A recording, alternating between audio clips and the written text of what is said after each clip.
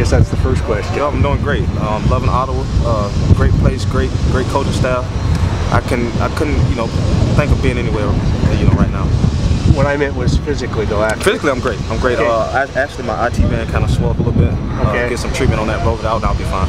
Okay, so you'll be back at practice tomorrow. Oh yeah, expect yeah, be? yeah, yeah, yeah, Okay. yeah. Oh yeah. Because uh, it could be your first uh, your first kick at the can uh, this weekend. Oh yeah. Uh, very excited. Uh, just taking it one day at a time. Trying to stay healthy, man, and um, most of all, just you know, get in the playbook and make sure you know we're playing fast.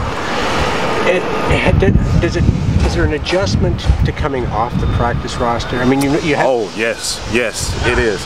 Uh, it's a reality check. Uh, you, you know, it's a, it's a big difference between the practice roster and then you know being one of the players. You got to go full speed, and it's, it's no breaks. It's no tapping on helmets a guy to come get you. So you got to be in shape, and you know, got to be ready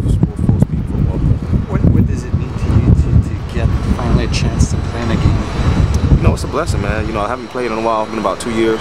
Uh, just trying to make the most out of the opportunity, you know, and just take the best. Why did you keep? Why did you come up to the camp for, for? Or why do you keep? Why, why, why do you keep doing it? I You know what? It's an interesting story. Uh, been around the game for a while. You know, one of the top-rated players in the country. You know, kind of had some you know trials and tribulations. You know, got through it. Uh, I just have this drive that you know you have to have deep down inside, and the passion that I have for this game. And right now, I'm not done. You know, and I'm just gonna keep driving and driving until you know I get to where I want to be at. So there's a lot. Thank you, guys.